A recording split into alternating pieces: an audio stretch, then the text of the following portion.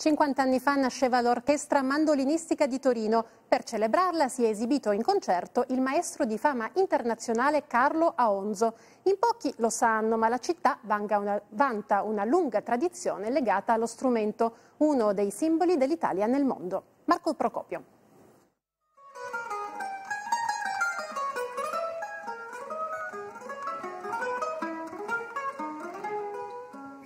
Occhi chiusi, orecchie attente, la passione che scorre tra le dita e si fa musica, poi alla nota perfetta ecco spuntare il sorriso del maestro. Il suono dolce del mandolino riempie la cappella dei mercanti. Carlo Aonzo è qui per i 50 anni dell'Orchestra Mandolinistica di Torino. Con il suo strumento è ambasciatore nel mondo di un simbolo della tradizione italiana, forse troppo a lungo bistrattato. È un pregiudizio tutto italiano, all'estero non esiste assolutamente, è un simbolo dell'Italia virtuoso della cultura e della tradizione. Abbiamo grandi concertisti anche nelle nuove generazioni, quindi diciamo che avremo questo grande ritorno del mandolino che è già in atto di fatto.